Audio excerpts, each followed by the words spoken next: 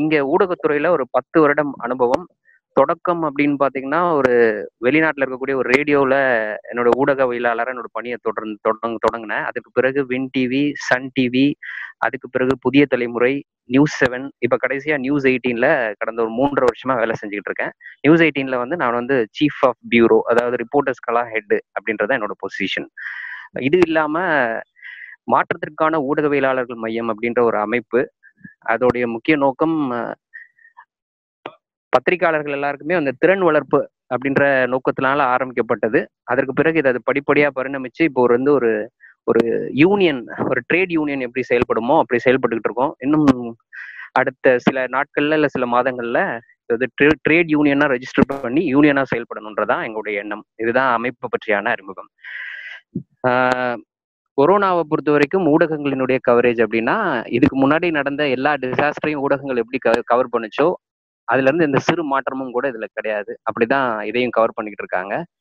நாம இன்னைக்கு பேசிக்கிட்டு இருக்க இதே நேரத்துல இன்னைக்கு தகவல் உலக அளவுல ஊடக சுதந்திரத்துல இந்தியாவினுடைய இடம் மேலும் வந்து நழுவி இருக்கு. இன்னும் பின் பின்னுக்கு தள்ளப்பட்டிருக்கு. அப்படிப்பட்ட அந்த தினத்துலதான் இன்னைக்கு நான் ஊடகம் இந்த கொரோனா பயங்கரத்தை இந்த கொரோனா பரவலை எப்படி கவர் பண்ணுது அப்படின்றத பேச இருக்கிறேன் அப்படி பேசும்பொழுது இது இன்னைக்கு கொடுக்கக்கூடிய எந்த டேட்டாஸும் அதாவது எத்தனை பேருக்கு பாதிப்பு ஏற்பட்டிருக்கு எத்தனை பேர் உயிரிழந்திருக்கிறாங்க எவ்வளவு டெஸ்ட் செஞ்சுருக்கோம் இந்த மாதிரியான எல்லா விஷயங்களுமே வந்து அரசு தரப்புல கொடுக்கக்கூடிய ஒரு ஜஸ்ட் ஒரு ப்ரெஸ் ரிலீஸ் தான். நீங்க பார்க்க மாதிரியான அந்த ப்ரெஸ் மீட் நடந்தாலும் கூட அதாவது சுகாதாரத்துறை அமைச்சர் விஜயபாஸ்கரோ இல்ல செயலாளர் பீலா ராஜேஷோ உட்கார்ந்து பேசுவாங்க.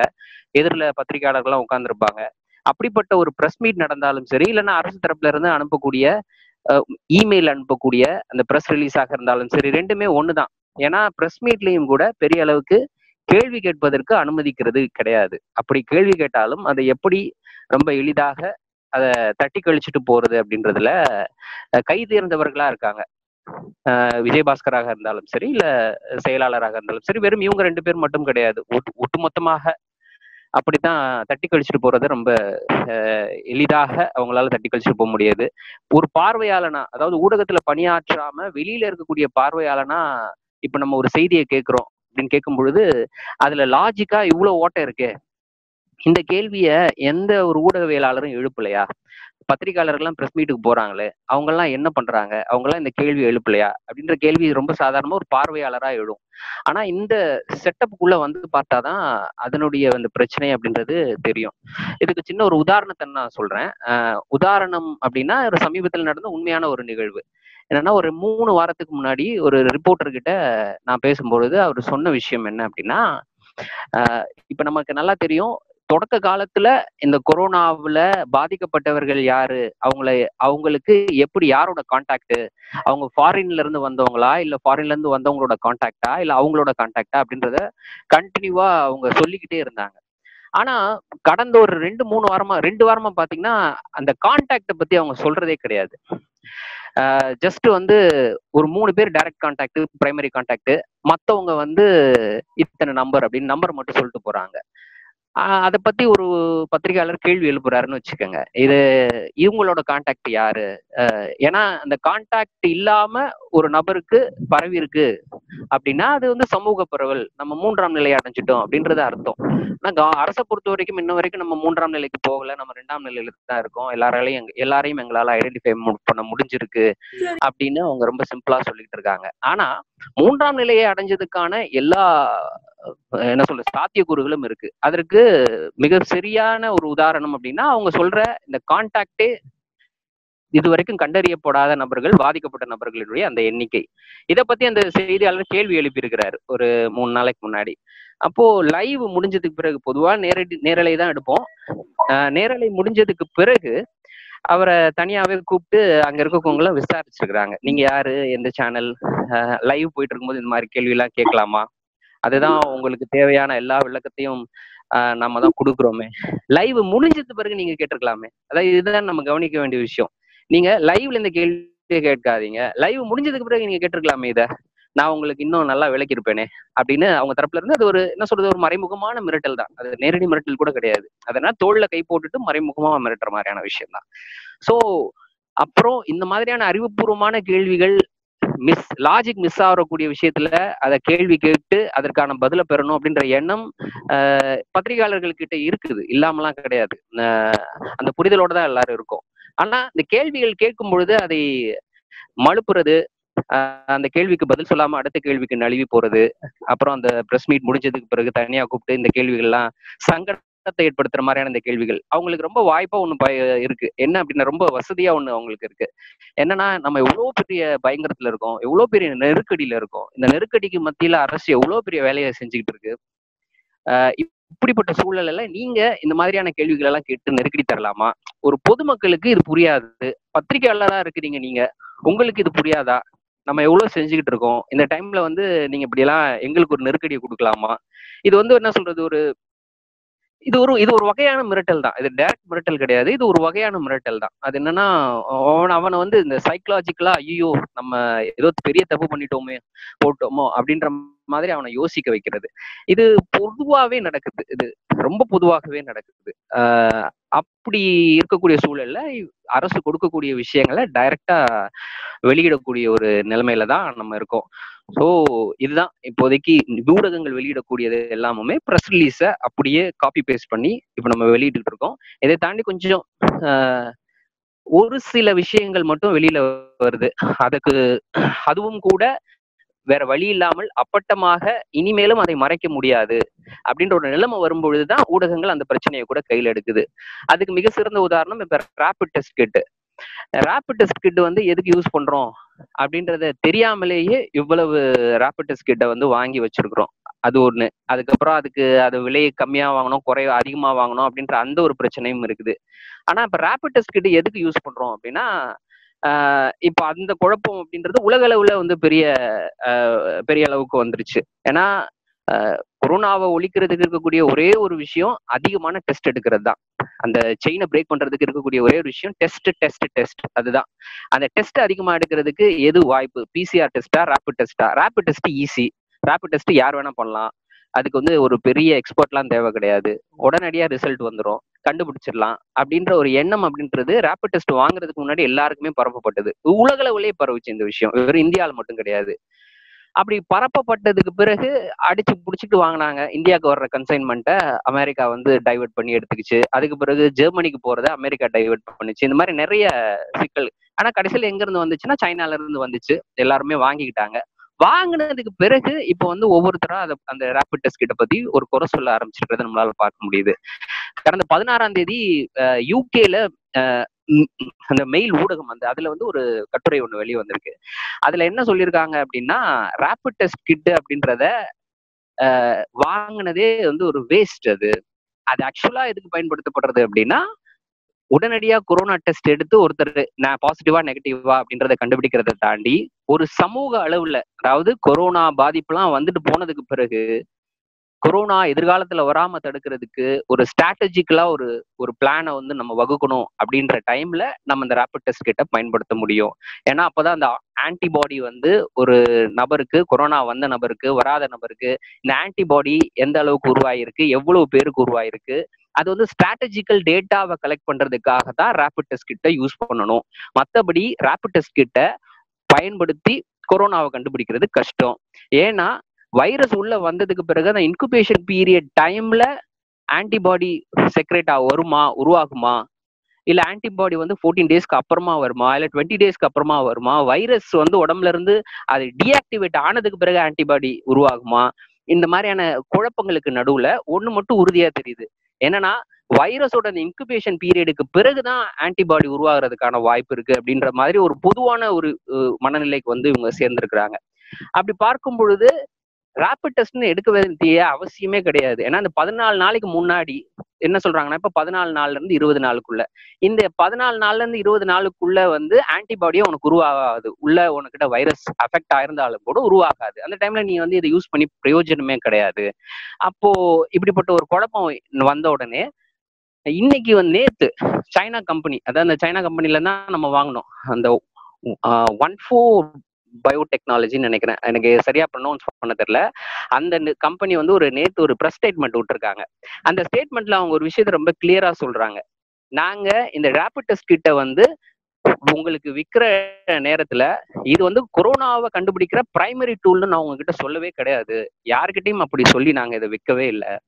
நாங்க இதை விற்கும் போது சொன்ன ஒரே ஒரு விஷயம் இப்போ ஃபார் எக்ஸாம்பிள் ஒருத்தருக்கு வந்து பிசிஆர் டெஸ்ட் எடுக்கிறாங்க. பிசிஆர் டெஸ்ட்னா டைரக்டா வைரஸ் இருக்குதா இல்லையான்றதை கண்டுபிடிக்கிற டெஸ்ட் அந்த பிசிஆர் டெஸ்ட் எடுக்கிற டைம்ல இன்குபேஷன் பீரியட் முடிஞ்சு அவருக்கு ஆன்டிபாடி செக்ரெட் ஆயிருந்துச்சுன்னா அவரோட உடம்புல அப்பயும் வைரஸும் இருக்கும் ஆன்டிபாடியும் இருக்கும்.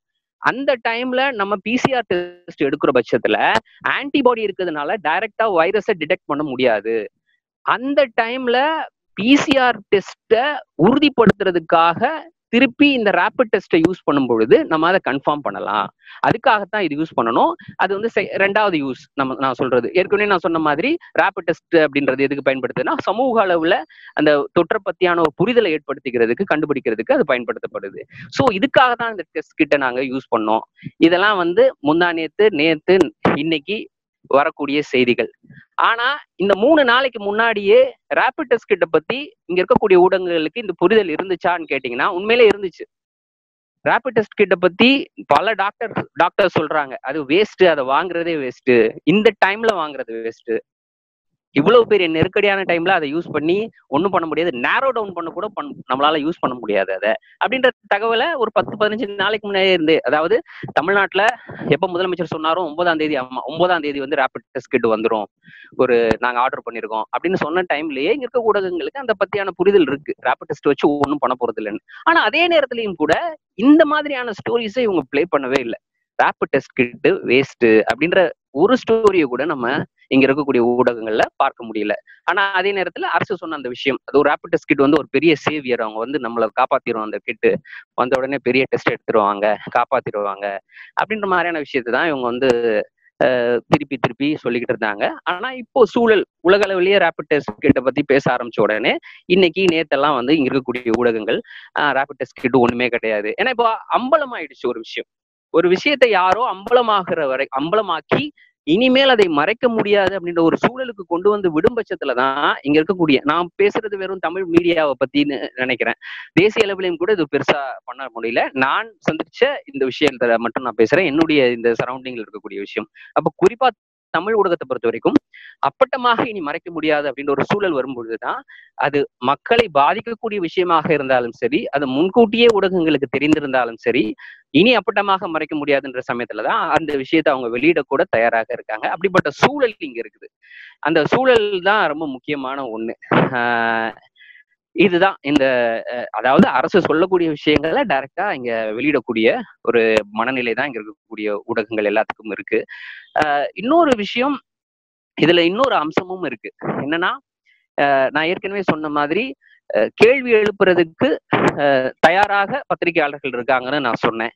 அதில் தாண்டி சில கேள்விகளை நியாயமாக எழுப்பு எழுப்புவதற்கான தயாரிப்போடு பத்திரிகையாளர்கள் இருக்காங்களா அப்படின்றத ரொம்ப முக்கியம். அப்படி பார்க்கும் பொழுது இந்த நிறுவனங்கள் எதுவும் வந்து பத்திரிகையாளர்களுடைய ஸ்கில் டெவலப்மெண்ட் நீங்க இன்டர்நேஷனல் மீடியா எல்லாத்தையும் பாத்தீங்கன்னா இந்த நேஷனல் மீடியாலையும் கூட சில மீடியாஸ் எல்லாம் வந்து தங்களுடைய ரிப்போர்ட்டர்ஸை வந்து அவருடைய ஸ்கில்லை டெவலப் பண்றதுக்குன்னு ஒரு குறிப்பிட்ட தொகையை அவங்க செலவு பண்ணுவாங்க. அது வந்து மாதம் மாதம் அவங்களுடைய சம்பளத்தோட சேர்த்து வழங்கப்படும். அது எதுக்கு அப்படின்னா அவர் வந்து இன்டர்நேஷனல் மேகசின் சப்ஸ்கிரைப் பண்ணி அதை வர வச்சு அதை படிச்சு தெரிஞ்சுக்கிறது. அப்புறம் டெய்லி வீட்டில் பேப்பர் வாங்குறதுக்கான அந்த கன்வெயன்ஸ் இந்த மாதிரி நிறைய பணத்தை செலவு பண்ணுவாங்க. அப்புறம் சில நிறுவனங்கள்லயே கூப்பிட்டு சிலர் முக்கியமான நபர்களை கூப்பிட்டு அவங்கள வந்து இந்த ஒரு சின்ன சின்ன லெக்சர் வந்து போவோம். அதுக்கு உட்கார வச்சு இவங்களை கேட்க வைக்கிறதுக்கு அதுக்கு செலவு பண்ணுவாங்க. அப்புறம் இந்த மாதிரி ஒரு பெரிய நிறுவனங்கள் ஒரு ஒரு நடுநிலையான என்ஜிஓஸ் இந்த மாதிரி பெரிய நிறுவனங்கள்லாம் இருக்கு. அவங்கெல்லாம் வந்து ரிப்போர்ட்டர்ஸோட ஸ்கில் டெவலப்மெண்ட்டுக்காக சில ப்ரோக்ராம்ஸ் எல்லாம் கண்டக்ட் பண்ணுவாங்க. அந்த ப்ரோக்ராம்ஸ்க்கு வந்து அமுச்சு வைப்பாங்க. ரிப்போர்ட்டர்ஸை டெஸ்க்ல இருக்கவங்களை அமுச்சு வைப்பாங்க. இதெல்லாம் என்னன்னா அந்த அந்த பத்திரிகையாளரை தான் நிறுவனத்துல வேலை செய்யற அந்த பத்திரிகையாளருடைய திறனை வளர்ப்பதற்காக நிறுவனம் செலவு செய்யக்கூடிய அந்த தொகை. இதன் மூலமாக தான் அவன் வந்து லாஜிக்கலான கேள்விகளை எழுப்பக்கூடிய தகுதியான நபரா மாறுறான். அப்போதான் அவனால உண்மையிலேயே கேள்வி எழுப்பக்கூடிய ஒரு சூழலுக்கும் அவனால வர முடியும். அப்படிப்பட்ட ஒரு செலவு அப்படின்றது தமிழ் மீடியால ஜீரோன்னு தான் சொல்லலாம். ஏன்னா இங்க யாரும் ஐந்து பைசா கூடுதல் செலவே கிடையாது. ஒரு பத்திரிகையாளனோட ஒரு ஸ்கில்ல டெவலப் பண்றதுக்கு ஏதாவது செய்வோம் அப்படின்ற மாதிரிலாம் எதுவுமே கிடையாது. அதை தாண்டி தகுதியான நபர்கள் அதாவது தகுதின்னு நான் சொல்றது இங்க என்ன அப்படின்னா எனக்கு பத்திரிகை துறையில விருப்பம். நான் இந்த அன்றாடம் நடக்கக்கூடிய நிகழ்வுகள்ல அப் டு டேட்டா இருக்கக்கூடிய நபர் அப்படிப்பட்ட ஒரு தகுதியான நபராக நான் இருக்கேன். அப்படின்ற பட்சத்துல எனக்கு எனக்கு இது வந்து ஒரு இது வந்து ஒரு பொலிட்டிக்கல் எக்கனாமி அளவுல புரிஞ்சுக்கக்கூடிய ஒரு விஷயம். அப்பனா என்னுடைய என்னுடைய மதிப்பு அதிகம். நான் வந்து எனக்கான சம்பளம் ஆட்டோமேட்டிக்கலி கொஞ்சம் அதிகமா நான் எதிர்பார்க்கக்கூடிய ஒரு நபராக இருக்கும் பட்சத்துல என்ன தகுதியான பத்திரிகையாளர்னு இனம் கண்டு அஹ், அந்த பணியை கொடுக்கறதுக்கு இவங்க தயாரா இல்லை. அதை தாண்டி எந்த வகையிலையும் பத்திரிகை துறைக்கும் எனக்கு சம்மந்தம் கிடையாது. எனக்கு விருப்பமும் கிடையாது. வேற வழி இல்லை. நான் வந்து ஒரு வேலை செய்ய வரேன்.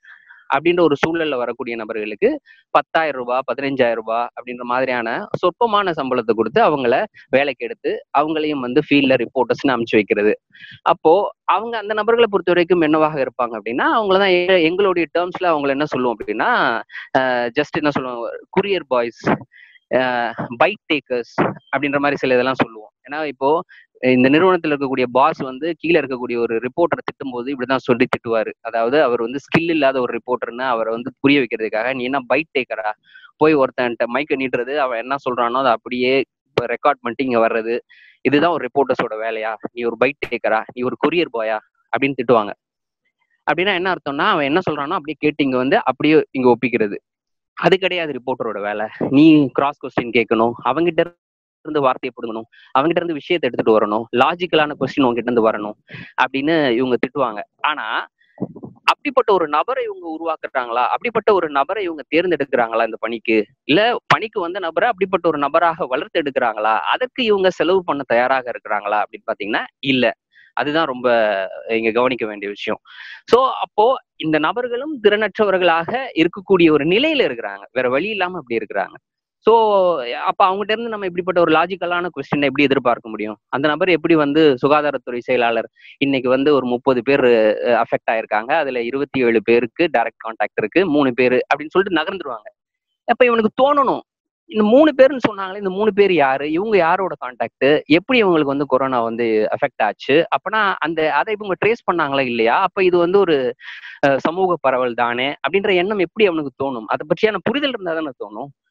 அப்படிப்பட்ட ஒரு நபரை இவங்க உருவாக்குறதுக்கும் த- இந்த நிறுவனங்கள் தயாரா இல்லை அதற்கு செலவு பண்ண தயாராக இல்லை. ஸோ அவங்கள பொறுத்த வரைக்கும் பைக் டேக்கர்ஸ் இருந்தால் போதும். ஒரு ஆஃபீஸ் பாய் மாதிரி இல்லை கொரியர் பாய் மாதிரி அங்கே போய் கொடுக்குறத கொண்டு வந்து இங்கே கொடுக்குற ஒரு நபர் இருந்தால் போதும். அப்படின்ற மாதிரி நிலைமையில தான் அவங்களையும் இவங்க வச்சிருக்கிறாங்க.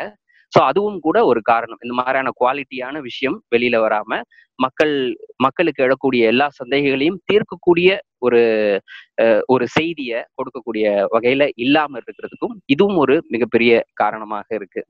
அடுத்து இன்னும் ஒரு காரணம் அப்படின்னு நம்ம சொல்ல போனோம் அப்படின்னா ஏன் வந்து உண்மையான செய்திகள் இந்த மாதிரியான நான் உதாரணத்துக்கு சொன்ன இந்த ரேபிட் டெஸ்ட் கிட் இருக்கு. இந்த ரேபிட் டெஸ்ட் கிட் வந்து உதவாத ஒண்ணு அப்படின்ற விஷயத்த தெரிஞ்சுட்டு எனக்கு தெரியுது நான் முதல்ல தெரியுது. ஆனாலும் இத நான் போய் என். நிறுவனத்துக்கு சரி இப்போ அப்படிப்பட்ட ஒரு நிலைமை எனக்கு வருது அப்படின்னு வச்சுக்கோங்க. எனக்கு முதல் முன்கூட்டியே தெரிஞ்சிருது நிறுவனமும் அந்த செய்தியை புரிஞ்சுக்குது. ஆனா அந்த நிறுவனம் வந்து தைரியமாக அந்த விஷயத்த வெளியில பேசுறதுக்கான சூழல் இங்க இல்ல. ஏன்னா நான் இப்ப மறுபடியும் நான் வந்து ஒரு இந்த ஒரு செய்தி ஊடகத்துல வேலை செய்யறேன் அப்படின்ற அடிப்படையில இவங்க சந்திக்கக்கூடிய பிரச்சனை என்ன அப்படின்றத நான் சொல்றேன். நமக்கு செய்தி ஊடகங்கள் எல்லாமுமே வீடுகள்ல தெரிகிறது அப்படின்றது டிஸ்ட்ரிபியூஷன் மூலமாக இந்த கேபிள் மூலமாக தான் உங்ககிட்ட வந்து சேருது. அப்ப இந்த டிஸ்ட்ரிபியூஷன் மூலமா உங்ககிட்ட வந்து சேர்றது எதன் மூலமா நடக்குது அப்படின்னா அரசு கேபிள் அந்த நிறுவனத்தின் மூலமாக தான் நடக்குது. இப்போ ஒட்டுமொத்த டிஸ்ட்ரிபியூஷன்ல கிட்டத்தட்ட சிக்ஸ்டி பர்சன்ட் அவங்க கிட்ட இருக்குது. மீதம் தான் சின்ன சின்ன டிஸ்ட்ரிபியூட்டர்ஸ் வச்சிருக்காங்க எஸ்சிவி கொஞ்சம் வச்சிருக்கான். இன்னும் சில டிஸ்ட்ரிபியூட்டர்ஸ் இருக்காங்க. அவங்க கிட்ட இருக்கான் அப்படின்னா வெறும் நான் இங்க ஒளிபரப்பை மட்டும் செய்வேன். ஆனா அது உங்களுடைய வீட்டுக்கு வந்து சேரவே சேராது.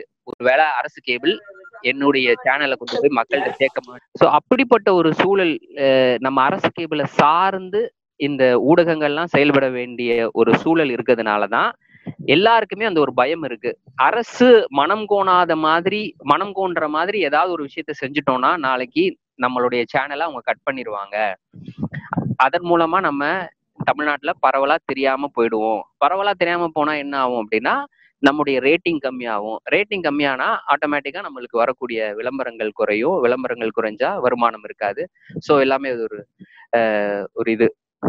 ஸோ அதனால அரசு கேபிள் அப்படின்ற ஒரு விஷயத்துல இவங்க சிக்கிக்கிட்டு இருக்க காரணத்தினால இவங்களால வெளிப்படையாக அதை எதிர்ப்பதற்கு அஹ், இந்த ஊடகங்கள் தயாராக இல்லை. இது நீங்க யோசிச்சு பார்க்கலாம். இது எப்படியா நடக்கும் அப்படின்னு. ஆனா உண்மையிலே அப்படிதான் நடக்குது. ரொம்ப நான் கண்கூடாக பார்த்தேன். நான் இத்தனை சொன்னால இத்தனை ஊடகத்துல பணியாற்றினேன். இல்ல எல்லா ஊடகத்திலயுமே இ- அந்த உயர் பொறுப்புல இருக்கக்கூடிய நபர் இந்த ஆசிரியர்னு இருக்கிறார்ல எடிட்டர்னு ஒருத்தர் இருப்பார்ல அவருக்கு ரெண்டு எண்ணம் ஓடிக்கிட்டே இருக்கும். ஒண்ணு பணம் போடக்கூடிய முதலாளி அவனை திருப்திப்படுத்துற மாதிரியான செய்திகள் போடுறதை உறுதி செய்யணும். அடுத்து அரசு கேபிள்ல நம்முடைய சேனல் தொடர்ந்து ஒளிபரப்பாகிறத உறுதி செய்யணும். இந்த ரெண்டுமே அவர் மைண்ட்ல ஓடிக்கிட்டே இருக்கும். இதை தாண்டி தான் அடுத்து மக்களுக்கு ஏதாவது செய்ய முடியுமா அப்படின்றத அவர் யோசிப்பாரு. அப்படி பார்க்கும் பொழுது ஒரே ஒரு செய்தி போதும். செய்தி போடனா போட்டா கட் பண்றது அப்படின்றது ஒரு வகை. போடாம இருந்தா கட் பண்றது இன்னொரு வகை. உதாரணத்துக்கு இப்ப முதலமைச்சருடைய ஒரு லைவ் வருது. அவரு வந்து செய்தியாளர்களை சந்திக்கிறாரு. நேரலையில அவரு செய்தியாளர்களை சந்திக்கிறாரு. நேரலை எல்லா சேனலும் எடுக்கிறாங்க. ஒரு சேனல் வந்து நேரலை எடுக்காம விடுறாங்கன்னு வச்சுக்கோங்க. ஒரு உதாரணத்துக்கு. அடுத்த செகண்டே வந்து ஏன் வந்து இந்த சேனல் இன்னைக்கு முதலமைச்சர் பேசினதை நேரலை எடுக்கல அப்படின்ற கேள்வி அந்த ஆசிரியருக்கு வரும். ஆசிரியர் அதற்கு பதில் சொல்லி ஆகணும். அப்படி இல்லாத பட்சத்துல அடுத்த நாள் வந்து சேனலை அப்ரப்டா கட் பண்ற ஒரு மெத்தட் இருக்கு. இல்லாம போறதுன்னா என்னன்னா அதுல ரெண்டு வழி இருக்குது. என்னன்னா நீங்க இப்ப சேனல்ல லைனா வரிசையில பாக்குறீங்கல்ல அதுல நியூஸ் சேனல் எல்லாம் ஒரே வரிசையில இருக்கும். அப்புறம் என்டர்டைன்மெண்ட் சேனல்லாம் ஒரே வரிசையில இருக்கும். இதெல்லாம் பார்ப்பீங்க அப்ப என்ன பண்ணுவாங்க? நியூஸ் சேனல் வரிசையில இருக்கக்கூடிய அந்த குறிப்பிட்ட சேனலை கொண்டு போய் எங்கேயாவது கடைசியில போட்டுருவாங்க. அப்ப என்னன்னா மக்கள் வந்து டிவி பாக்குறவங்களை பொறுத்த வரைக்கும் ஏதோ ஒரு நியூஸ் சேனல் பார்த்தா போதும் தானே. தேடி போய் இந்த நியூஸ் சேனலை பார்க்கணும் அப்படின்னு யோசிக்கக்கூடிய நபர்கள் ரொம்ப கம்மி. அப்ப அந்த வரிசையில இருக்கக்கூடிய செய்தி சேனல்களை மட்டும்தான் அந்த மக்கள் பார்ப்பாங்க. பின்னாடி தூக்கி போடப்பட்ட ஒரு சேனல் பக்கமா அவங்க போவே மாட்டாங்க. அப்ப அந்த போய் அந்த சேனலை பார்க்காததுனால என்ன ஆகும்? சேனலை மக்கள் பார்க்காததுனால ரேட்டிங் கம்மியாகும். நான் ஏற்கனவே சொன்ன மாதிரி அந்த எஃபெக்ட் அப்படியே நடக்கும். ரேட்டிங் கம்மியானா இங்க விளம்பரம் வராது வருமானம் கம்மியாகும். இது ஒரு வகையில மிரட்டுறது.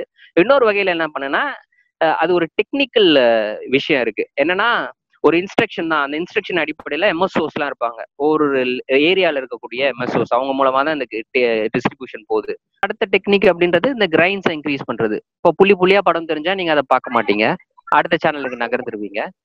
அந்த சேனல் நகர்ந்தா இந்த சேனலோட ரேட்டிங் குறையும். நான் ஏற்கனவே சொன்ன மாதிரியான விஷயங்கள் நடக்கும். அப்படி இப்படிதான் கட்டுப்பட்டு மீடியா வந்து ஒரு சாதாரணமா ரொம்ப ஃப்ரீயா நம்ம நீங்களாம் யோசிக்கிற மாதிரி ஃப்ரீயாலாம் இங்க இயங்கல. இங்க இவ்வளவு விஷயங்களை யோசிச்சுதான் அதாவது ஒரு செய்தியை ஒளிபரப்புறது அப்படின்றது இவ்வளவு விஷயங்களை கன்சிடர் பண்ணி யோசிச்சு நான் சொன்ன மாதிரி ரெண்டாவது விஷயத்த தான் பேசிட்டு இருக்கேன். முதல் விஷயத்தை பொறுத்த வரைக்கும் பணம் போட்டிருக்கக்கூடிய முதலாளியினுடைய ஒரு அவன் அவ- அவங்க எதிர்பார்க்குற விஷயம் இருக்குல்ல. அவங்களுடைய சார்பு இருக்கு. அவங்களுடைய அரசியல் சார்பு இருக்கு. இங்க எந்த எந்த ஊடகமும் வந்து நடுநிலை அப்படின்லாம் ஒண்ணும் கிடையாது. எல்லாமே ஏதோ ஒரு வகையில அரசியல் சார்புல இருக்கிறாங்க. அப்ப அந்த அரசியல் சார்பு அஹ், அதுக்கு தகுந்தாற்போல் இந்த செய்தி இருக்குதா அப்படின்றத யோசிச்சு நம்ம போட வேண்டியது இருக்கு. அது இல்லாம தனித்தனி நபர்களினுடைய விருப்பு வெறுப்புகள்லாம் இருக்கு. இந்த குறிப்பிட்ட நபரை நம்ம காமிக்க கூடாது உதாரணத்துக்கு சொல்ல போனா ஒரு சில சேனல்கள் இதே ஒரு இதாவே எடுத்து வச்சிருக்கிறாங்க. அஹ் என்னன்னா தாழ்த்தப்பட்டவர்கள் தொடர்பான செய்திகளை பெருசுப்படுத்தக்கூடாது. ஆஹ் அந்த மக்களுக்கு நீங்க நடக்கக்கூடிய அந்த பிரச்சனைகளை பெருசுப்படுத்தக்கூடாது. அப்புறம் ஒரு குறிப்பிட்ட சாதியினர் தொடர்பான நியூஸை போடக்கூடாது. இதெல்லாம் வந்து அந்த அந்த நிறுவனத்தினுடைய முதலாளிகளினுடைய முடிவு. அந்த முடிவெல்லாம் வந்து நம்ம அந்த ஒரு ஆசிரியரா இருக்கக்கூடிய நபர் யோசிச்சு செயல்படக்கூடிய ஒரு நபரா இருக்கணும். ஆஹ் இப்போ நான் இதை பேசிட்டு இருக்க இதே நேரத்துல நேத்து இதுக்கு உதாரணமா சொல்லணும்னா ஒண்ணு நடந்திருக்கு. நேத்து வந்து சன் டிவியினுடைய ஆசிரியரை வந்து பணியில இருந்து நீக்கிருக்கிறாங்க நான் சொல்றது எடிட்டரை வந்து பணியில இருந்து நீக்கிருக்கிறாங்க என்ன காரணம் அப்படின்னு பாத்தீங்கன்னா சன் சன் செய்திகள் எல்லாரும் தெரிஞ்சிருக்கும். முன்னணி ஊடகம் அதுதான் வந்து அடி இங்க முதல்ல உருவான ஊடகம். அது அவங்க வந்து ஒரு செய்தியை தொடர்ந்து ஒரு தொகுப்பை வந்து வெளியிடுவாங்க. என்னன்னா ஒவ்வொரு அரசியல் தலைவர்களையும் கிண்டல் பண்ணி இந்த மீம்ஸுகள்லாம் வருது இல்ல சமூக வலைதளங்கள்ல. அந்த மீம்ஸுகள் எல்லாம் தொகுத்து வந்து ஒரு செய்தியா வெளியிடுவாங்க. அது வந்து அவங்களுடைய ஒரு ஒரு ப்ரோக்ராம் அதுல என்ன பண்ணிருக்கிறாங்க தெரியாம ஸ்டாலின் ஸ்டாலினுக்கு அகைன்ஸ்டா ஒரு மீம்ஸ் வந்திருக்கு. அந்த மீம்ஸை வந்து இவங்க தெரியாம வெளியிட்டுட்டாங்க சேர்த்துட்டாங்க. ஒரு பத்து மீம்ஸை சேர்க்கும் பொழுது ஒரு மீம்ஸ்ல அதை புரிஞ்சு கொள்ள கூட முடியாது. அந்த மீம்ஸை படிக்கிறவங்க நல்லா உத்து பார்த்தா தான் தெரியும் அது ஸ்டாலினுக்கு அகைன்ஸ்டான மீம் அப்படின்ட்டு. அதை அவங்க தெரியாம வெளியிட்டுட்டாங்க. இந்த மீம்ஸ் உருவாக்கக்கூடிய அந்த ஒரு குழு ஒண்ணு இருக்கு. அந்த ப்ரொடக்ஷன் குழு. ஒரு ரெண்டு பேர் இருக்காங்க. அந்த ரெண்டு பேரை தாண்டி அதை ஃபைனல் பண்றதுக்கு ஒரு நபர் இருக்காரு. அதை ஒரு தடவை செக் பண்ணி தவறு இருக்கா அப்படின்னு சொல்லி எல்லாமே ஆராய்ஞ்சு ஒளிபரப்புறதுக்கு அனுமதி கொடுக்கக்கூடிய ஒரு நபர் ஒருத்தர் இருக்காரு.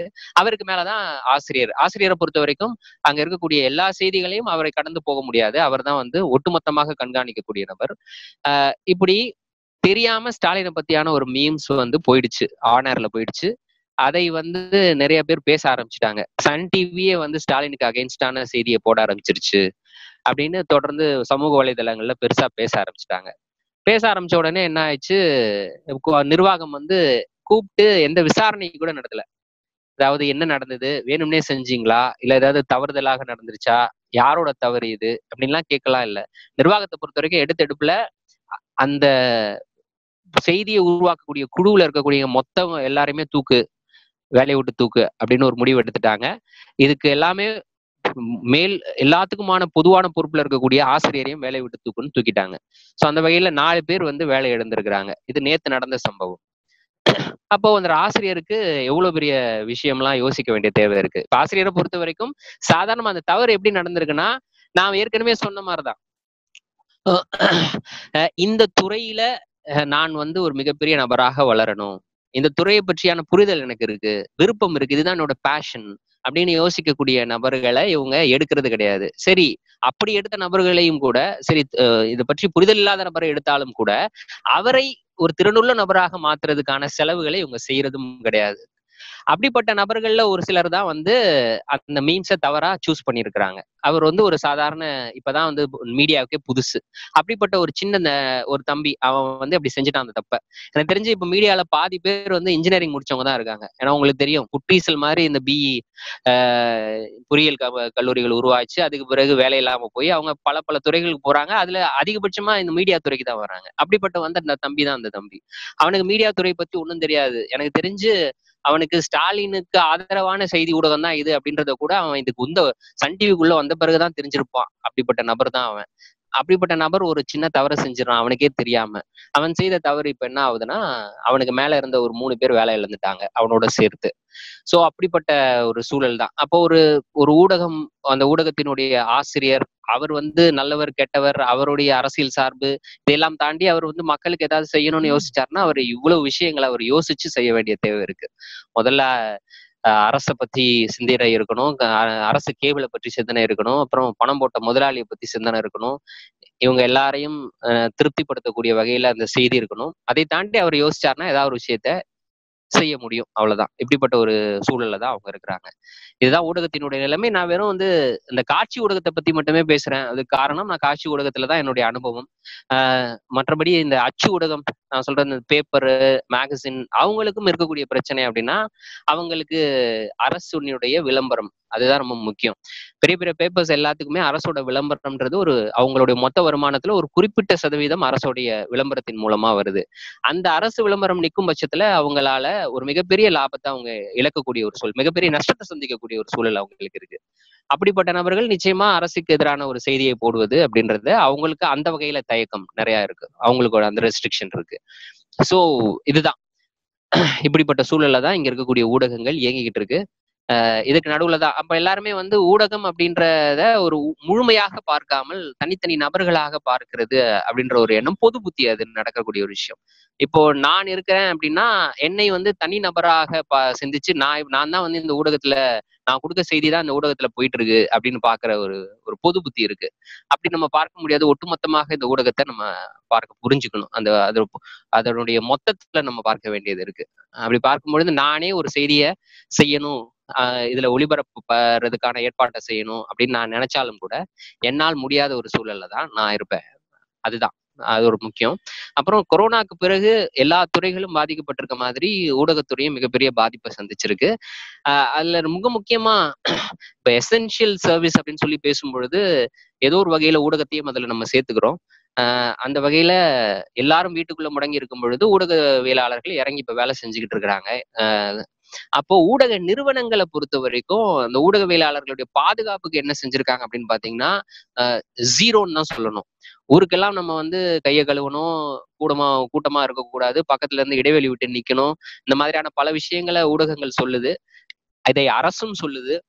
ஆஹ் அதை தான் கொண்டு ஊடகம் மக்கள்கிட்ட போய் சேர்க்குது. இப்படிப்பட்ட வேலைகளை செய்யும் போது ஊடக நிறுவனங்களை பொறுத்த வரைக்கும் ஊடகத்துல பணியாற்றக்கூடிய நபர்களுக்கு இந்த விஷயத்த செஞ்சிருக்கா இதை உறுதிப்படுத்தியிருக்கா அப்படின்னு பாத்தீங்கன்னா ஏதோ ஒன்னு ரெண்டு ஊடகங்கள் அந்த வே- அந்த விஷயத்துல அதாவது நூறு சதவீதம் செய்ய வேண்டியதுல ஒரு ஐம்பது சதவீதத்தை செஞ்சிருக்கு ஒரு சில ஊடகங்கள். அப்பனா மற்ற ஊடகங்களை பொறுத்த வரைக்கும் ஜீரோன்னு தான் சொல்லணும். அந்த மாதிரியான விஷயத்த எடுத்திருக்காங்களா அப்படின்னு பாத்தீங்கன்னா இல்லதான் என்ன பண்ணணும் அப்படின்னா முதல்ல செய்ய வேண்டிய விஷயம் வெளியில போகக்கூடிய பத்திரிகையாளர்களுடைய பாதுகாப்பை உறுதி செய்யற மாதிரி தேவையான எல்லா உபகரணங்களையும் கொடுக்கணும். மாஸ்க்கு சானிடைசரு அப்புறம் அவங்க வந்து பாதுகாப்பா போயிட்டு வர்றதை உறுதி செய்யக்கூடிய வகையில அவங்களுடைய வாகனம் இருக்கணும். அந்த வாகனத்தை தொடர்ந்து கிருமி நீக்கம் செய்யணும். இந்த சானிடைஸ் பண்ணணும். இந்த மாதிரியான வேலைகள் எல்லாம் செய்யணும். அந்த மாதிரியான வேலைகள் எதையுமே செய்யறது கிடையாது. செய்யல. அப்புறம் முடிஞ்ச அளவுக்கு ஒருத்தருக்கு உடம்பு சரியில்லாத மாதிரியான ஒரு சின்ன அறிகுறி தெரிஞ்சாலும் கூட அவரை வீட்டுல போய் ஓய்வு எடுக்கிறதுக்கு அனுப்பணும். அந்த ஓய்வு எப்படி இருக்கணும் அப்படின்னா அது ஒரு மெடிக்கல் லீவா இருக்கலாம். இல்லைன்னா சம்பளத்தினுடைய இப்படிப்பட்ட ஒரு நெருக்கடியான நேரத்துல வந்து நம்ம சம்பளம் மற்ற விஷயம் அப்படின்லாம் பார்க்க முடியாது. அதனால என்ன பண்ணணும்? அவங்களுக்கு சம்பளத்துடன் கூடிய விடுப்பு அப்படின்றத கண்டிப்பா கொடுத்தாகணும் அரசும் அதைத்தான் வலியுறுத்துது எல்லா நிறுவனங்களையும். ஆனா இங்க அப்படி செய்யறது கிடையாது. ஒருத்தன் வந்து ஒரு இரும்பிக்கிட்டு இருப்பான் தும்மிக்கிட்டு இருப்பான். அவனே வந்து தொடர்ந்து வேலை செய்யறதுக்கு நிர்பந்திக்கப்பட்டு இருக்காங்க உண்மையிலே இதுதான் நிலைமை. அப்ப இப்போ கடந்த ஒரு மூணு நாலு நாளா நீங்க செய்திகள்ல பார்த்துருப்பீங்க. ஊடகவியலாளர்கள் மிகப்பெரிய பாதிப்பை சந்திச்சிருக்கிறாங்க. நாங்க இந்த கொரோனா வைரஸ் பரவ ஆரம்பிச்ச உடனேயே தொடக்கத்துல இருந்தே மாற்றத்துக்கான ஊடகவியலாளர் மையம் சார்பா ஒவ்வொரு நிறுவனத்துக்கும் தனிப்பட்ட முறையில மின்னஞ்சல் அனுப்பி அந்த நிறுவனத்தினுடைய முக்கியமான நபர்களை தொடர்பு கொண்டு பேசும்போது நாங்க சொன்ன விஷயம் இதுதான். நம்மளுக்கு தான் அதிகமா பாதிக்கப்படுறதுக்கான வாய்ப்பு இருக்கு அதனால நீங்க தயவு செஞ்சு முன்னெச்சரிக்கை நடவடிக்கைகளை எடுங்க அப்படின்றத நம்ம கத்துக்கிட்டோம். ஆனா பெரிய அளவுக்கு யாருமே காதல வாங்கிக்கல. அதனுடைய வெளிப்பாடு தான் இன்னைக்கு வந்து கிட்டத்தட்ட இன்னைக்கியோடைய கவுண்ட் வந்து ஒரு முப்பத்தி ரெண்டு பேருக்கு ஊடகவியலாளர்களுக்கு கொரோனா வைரஸ் இருக்குது.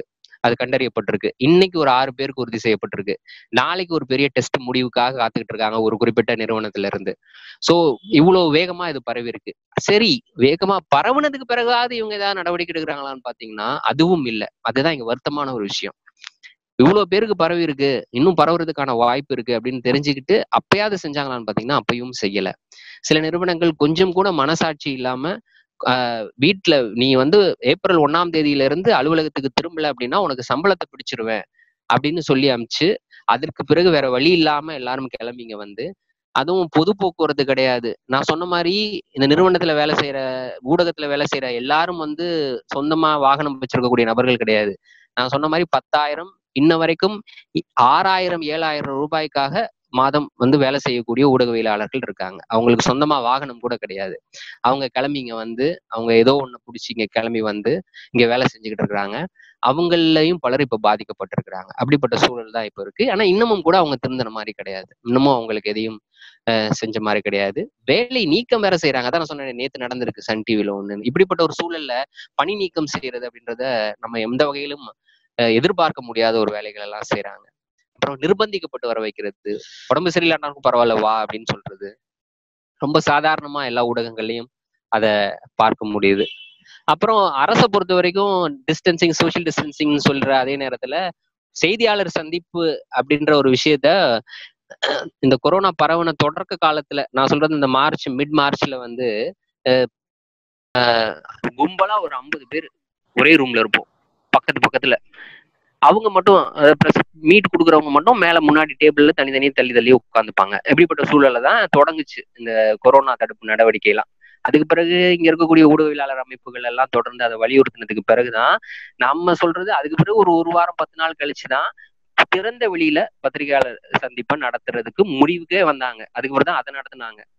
அதுக்கு பிறகு அதை நடத்தும் பொழுதும் கூட தொடர்ந்து எண்ணிக்கை அதிகாரி அதிகமாயிட்டு வரும்பொழுது மறுபடியும் நம்ம வலியுறுத்துறது என்னன்னா பத்திரிகையாளர் சந்திப்பை ஏன் நடத்துறீங்க? அது வந்து ஆன்லைன் மூலமா காணொலி மூலமா நடத்துங்க வீடியோ கான்ஃபரன்ஸ் மாதிரி நடத்துங்கன்னு நம்ம கேட்டு கேட்டு கேட்டு கடைசியில பத்திரிகையாளர்களுக்கெல்லாம் வந்தது உறுதியானதுக்கு பிறகு நேத்துல இருந்து தான் பத்திரிகையாளர் சந்திப்பை நிறுத்திருக்கிறாங்க அதுவும் காணொலி மூலமா நடத்துறதுக்கு கூட அவங்க தயாரா இல்ல. வெறும் ப்ரெஸ் ரிலீஸை மட்டும் எல்லாருடைய ஆஃபீஸ்க்கு அமுச்சு வச்சிடுறாங்க. அதை தான் நம்ம இப்ப வெளியிடக்கூடிய ஒரு சூழ்நிலை இருக்கோம்.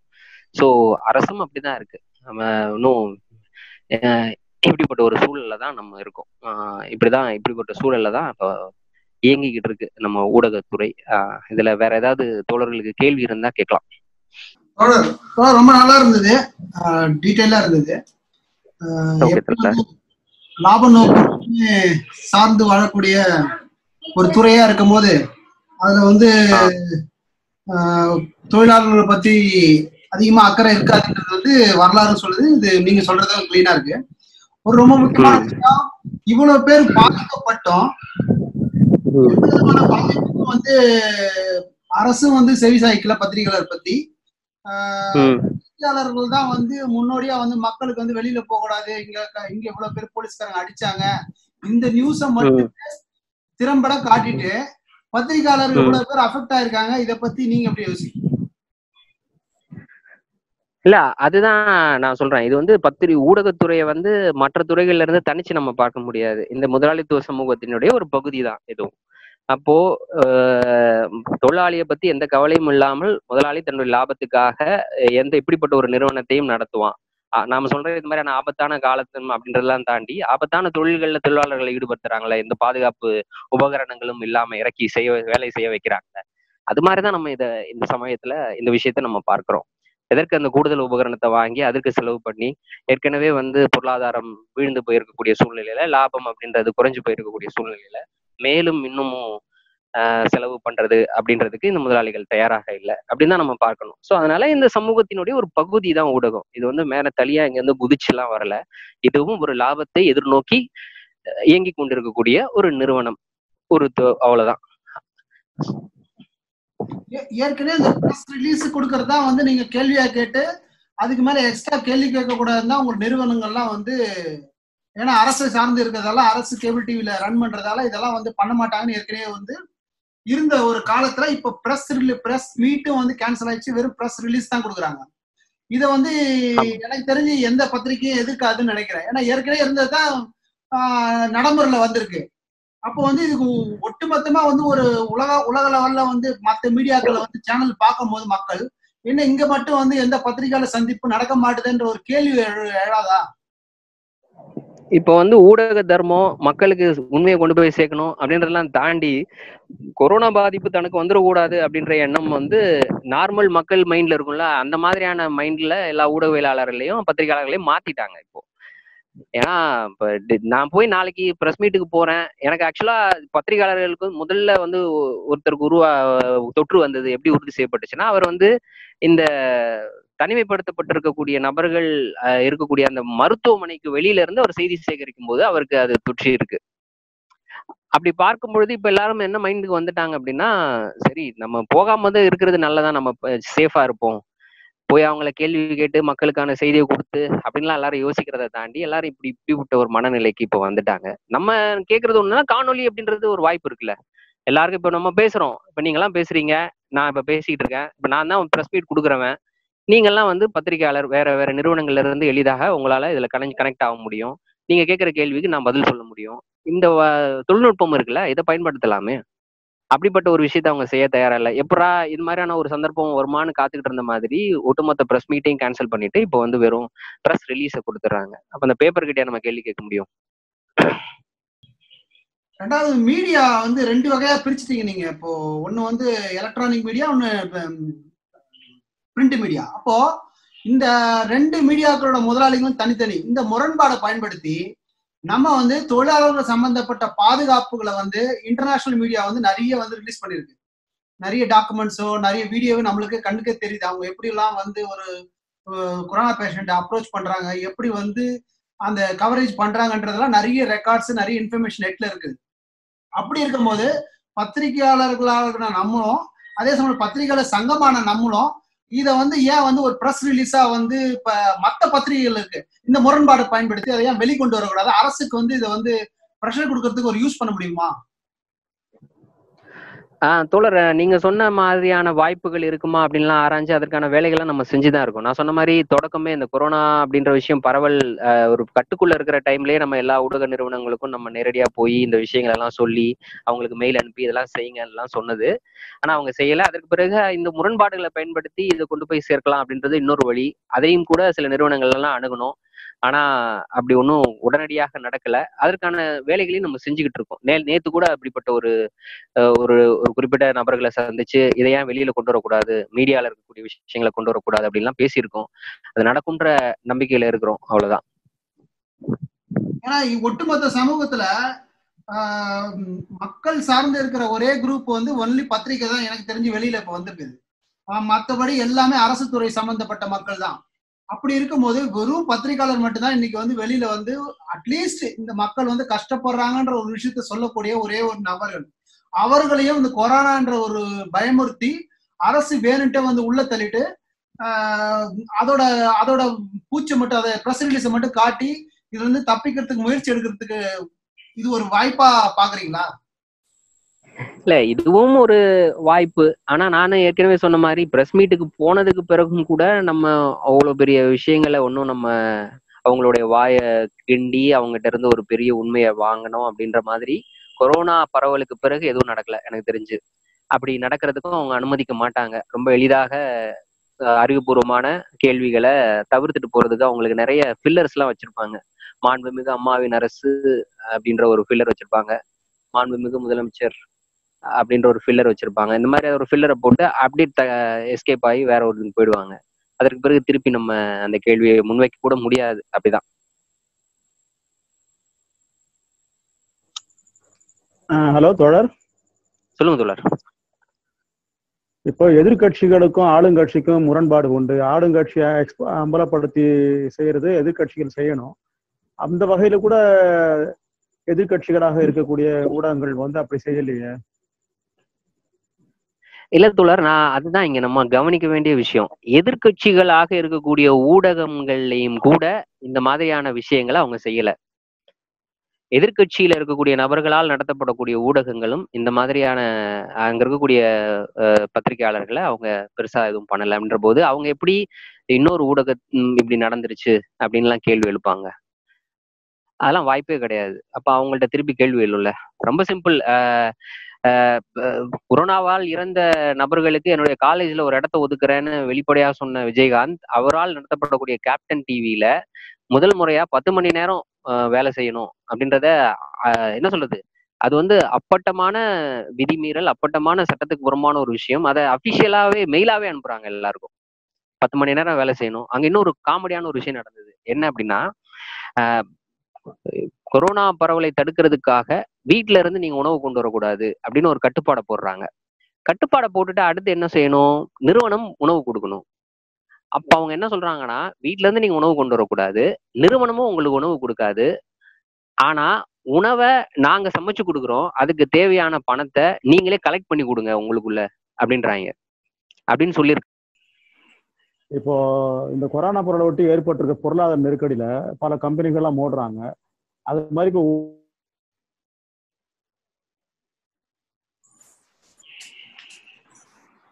உங்க வாய்ஸ் கட் ஆயிடுச்சு.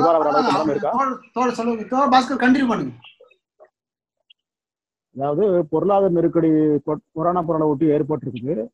அதை அதை ஒட்டி இந்திய அளவுல பல பெரிய நிறுவனங்கள்லாம் மூடப்படுது இல்லாட்டி திவால் ஆகுது அதே மாதிரி ஊடக நிறுவனங்களுக்கும் அந்த நிலைமை ஏற்படுதா? கண்டிப்பா.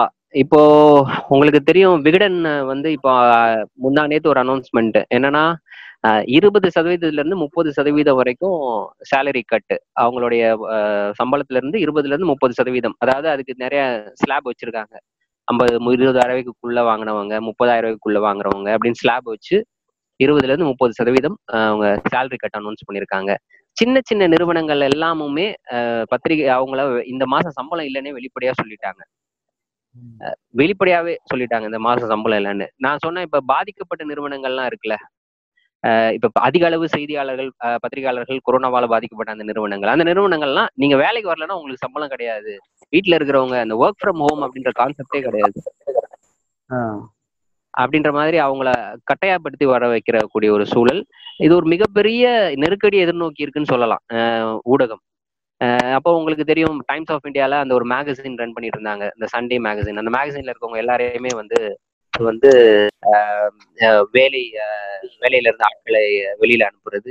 இந்த மாதிரியான விஷயங்கள்லாம் ரொம்ப சாதாரணமா அவங்க செஞ்சுக்கிட்டு இருக்காங்க எதிர்த்துவாங்க அதான் இது இன்னொரு இந்த கொரோனா பாதிப்பெல்லாம் முடிகிற டைம்ல இன்னமும் வந்து அதிகரிக்கும் அப்படின்னு எதிர்பார்க்கிறோம். மிகப்பெரிய அளவுக்கு பெரிய பெரிய ஒரு செக்டர் பெரிய ஒரு கூட்டம் வேலை இழக்கும். நம்ம உங்க பத்திரிகையாளர் சங்கத்துல பதிவு பெற்ற அல்லது உங்களை சார்ந்துள்ள தொழிலாளர்களுக்கு நீங்க எதனா கைட்லைன்ஸ் போல அவங்களுடைய பர்சனல் மெயிலையோ வாட்ஸ்அப்லயோ ஷேர் பண்றீங்களா? இதெல்லாம் வந்து நீங்க ப்ராப்பரா கைட்லைன்ஸ் பண்ணுங்க. இவ்வளவு தூரத்துல இருந்து டிராவல் பண்ணுங்க. இதெல்லாம் பண்ணுங்க அப்படின்னு சொல்லி இதெல்லாம் நீங்க கைட்லைன்ஸ் கொடுக்குறீங்களா? ஆமா தோழர். அதான் நான் ஏற்கனவே சொன்ன மாதிரி நிறுவனங்களுக்கு நிறுவனங்கள்ட்ட நாங்க கேட்டுக்கிட்ட அதே நேரத்துல பத்திரிகையாளர்கள்ட்டையும் கேட்டுக்கிட்டோம். இந்த மாதிரி இந்த பர்சனல் ஹைஜின் அந்த நீங்க உங்களை பாதுகாத்துக்கிறதுக்கான இந்த நடவடிக்கை எல்லாம் செஞ்சிருங்க செய்யுங்க. அப்படின்னு நாங்க எல்லாருக்கும் அதை அறிவுறுத்திட்டு தான் இருக்கோம்.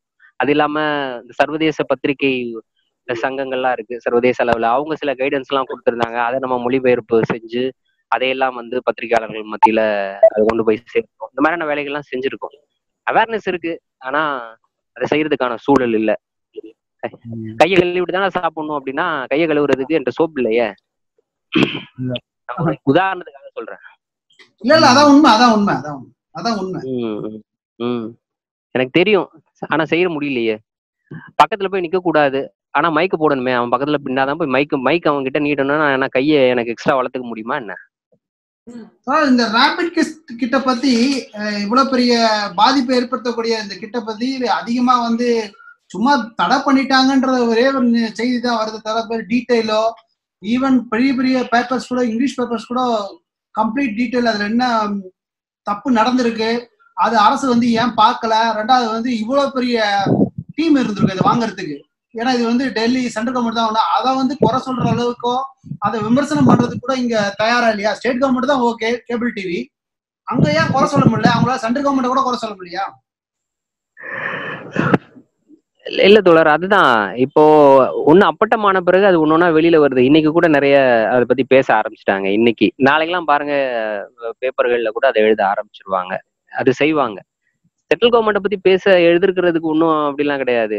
அதுவும் கூட நம்ம ஒரு அவங்களுக்கும் கட்டுப்பட்டு தானே நம்ம இருக்கோம். உங்களுக்கே தெரியும் அஹ் இந்த டெல்லி கலவரத்தை டெல்லி கலவரம் நடக்கும் பொழுது அது தொடர்பான ஒரு செய்தி. ஒண்ணும் இல்ல பாதிக்கப்பட்ட ஒரு நபருடைய அந்த குரலை பதிவு செய்ததுக்காக கேரளால ரெண்டு சேனல் வந்து நாற்பத்தெட்டு மணி நேரம் முடக்கிறதுக்கு உத்தரவு போட்டுச்சு. மத்திய அரசு தான். அப்புறம் அந்த உத்தரவு அப்படின்றது ஒரு சில மணி நேரங்கள்ல வாபஸ் பெறப்பட்டது. அஹ் அதுக்கு காரணம் அது ஒரு மிகப்பெரிய எதிர்ப்பாலை உருவாச்சு. பட் ஆனா மத்திய அரசும் நினைத்தால் அவங்களால முடிக்க முடியும். ஏன்னா அவங்ககிட்ட தான் லைசன்ஸ் வாங்கி இங்க ரன் பண்றோம். அந்த லைசன்ஸ்ல தான் ரன் ஆயிட்டு இருக்கும். அந்த லைசன்ஸ்ல நிறைய கண்டிஷன்ஸ்லாம் இருக்கு. அந்த கண்டிஷன்ஸ் படி ப்ராட்காஸ்டிங் மினிஸ்ட்ரி எந்த நேரத்துலயும் வந்து ஒரு சேனல்ல வந்து பிளாக் அவுட் பண்ணலாம். அவங்களுக்கு அந்த பவர் இருக்கு அதிகாரம் இருக்கு.